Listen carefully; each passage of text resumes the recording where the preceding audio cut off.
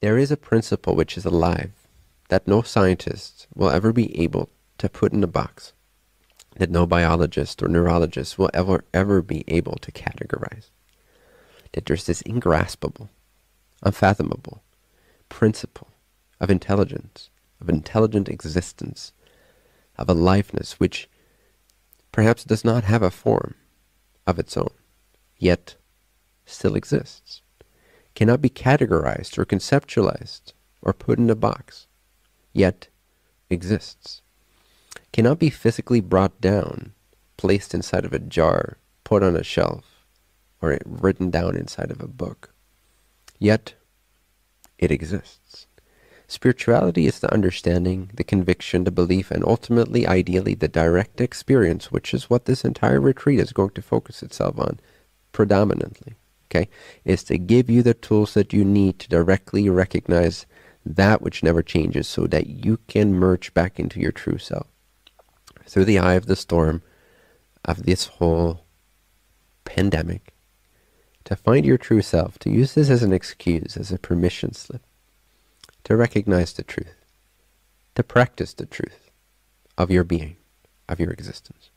So what if there exists this principle of intelligence, intelligent aliveness, of beingness, call it God if you will, call it source, call it the enlightened mind, call it pure consciousness, call it the great I am, call it universal consciousness, call it woo-woo, really doesn't matter. Call it Shiva, call it Brahman. It really doesn't matter. It does not care what name it gets in your mind. It exists regardless of name and form and shape and size and dimensions and space and time. But imagine again, because some of you might be thinking now, why would I why would I want to be interested in this topic? And I'm not here to convince you that you should. First of all, it's entirely up to you. Uh, but I do want to kind of give it a shot. I want to promote it as best as I can. So I will be truthful and say that I believe that not only is it imperative for our civilization and its future trajectory that more people around the world, people like you watching right now, prioritize devote themselves to, commit themselves to a true, genuine, direct experience-based spiritual practice. That's free of dogma, that's free of lineage, that's free of religious concepts.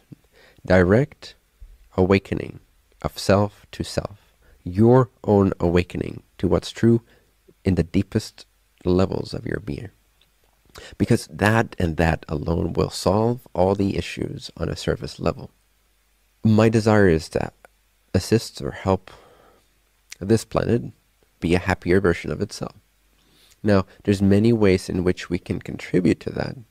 There's environmentalists, there's philanthropists, there is uh, all kinds of charitable organizations, some of which are genuine. And you can go save forests, preserve nature, um, and I recommend all these things. I think they're all very valuable pursuits.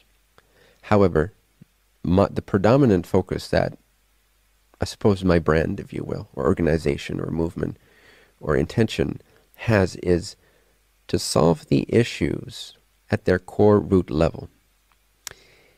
And all the issues we've ever generated come from confusion, which comes from a non-understanding of what is true, of what we really are. So if we can help millions of people around the world, and we can in today's world, we can very quickly. And this is one aspect of that. And you being here and you having shared this perhaps with some of your friends is an aspect of that paying it forward.